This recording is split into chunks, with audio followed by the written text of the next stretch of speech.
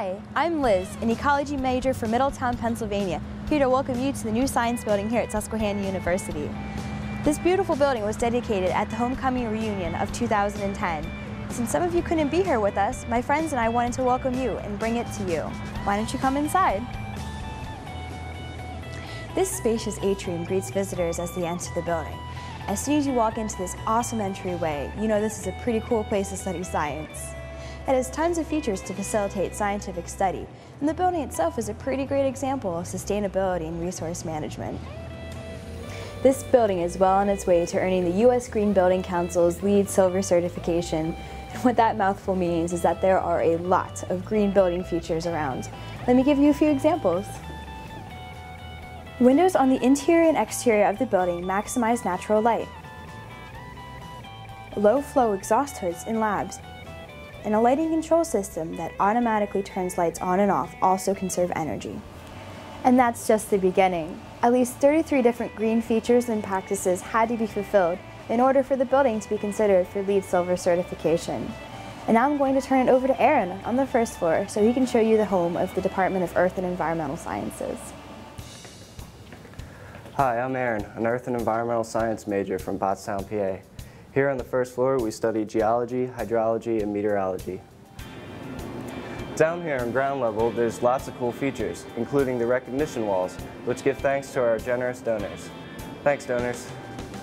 One of the most popular spots in the building is the periodic table, or Ellie's as we like to call it, a happening little bistro that serves locally grown food.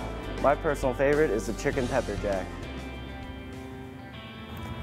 On warm sunny days, students take advantage of the outdoor seating, where the periodic table of elements is built right into the patio. Down the hall from Ellie's is the student lounge. It's located next to the faculty offices, so we can interact more closely with our professors. Speaking of classes, this building has some awesome spaces for research and learning. For instance, here on the first floor we have X-ray instrumentation and polarizing microscopes that are used to identify the composition of rock, soil, and minerals. This hydrology lab allows us to study particle transport through different porous mediums. We also have an air and water analysis lab to analyze fluids and gases. A seminar room on this floor can be used as a single class space for large groups or divided into smaller spaces for meetings and smaller class gatherings. Now here's Chelsea to tell you more about the building's classrooms and labs. Hi, I'm Chelsea, a biology major from Leck Kill, Pennsylvania. Let me show you around the biology department. Here on the second floor, you'll find great examples of the building's teaching and learning spaces. Home to the Department of Biology, this floor also accommodates students of the Ecology and Healthcare Studies programs. AV-equipped smart classrooms have lecture and lab space in the same room. This allows students to study in a workshop-style setting where they can move easily between lecture and lab work during a single class period. Faculty integrate hands-on activities into class time to better illustrate the concepts and principles they are teaching us. The design of these classrooms promotes high-level interaction and engagement between students and faculty.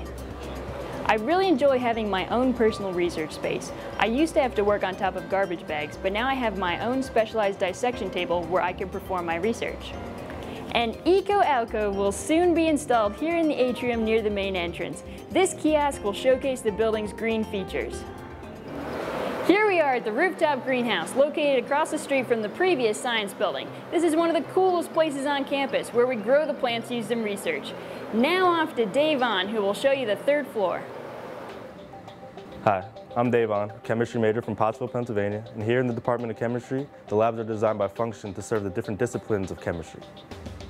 For example, the laser spectroscopy suite is its own facility, and environmental chemistry has its own space, as does biochemistry. The instrument and nuclear magnetic resonance labs are centrally located for easy access. The new workshop classrooms join wet and dry chemistry areas with great audio and visual communication capabilities. A single instructor can assist students conducting research in the wet areas, while other students are analyzing data or designing the next experiment. As you can see, collaborative research, both peer-to-peer -peer and with faculty, is our top priority here at Susquehanna, and the new science building is specifically designed to support this type of work. I'm currently doing green chemistry with Dr. Renuka in my own personal research space. I love having my own hood. We're lucky because being able to do scientific research as an undergraduate is rare at a lot of institutions. But here at Susquehanna, we learn science by doing science, and this new building allows us to do that even better. My friends and I hope you enjoyed your tour of the new science building, and we hope you'll come see it for yourself soon, because not even a video can do justice to this great facility and the awesome research that's being done here.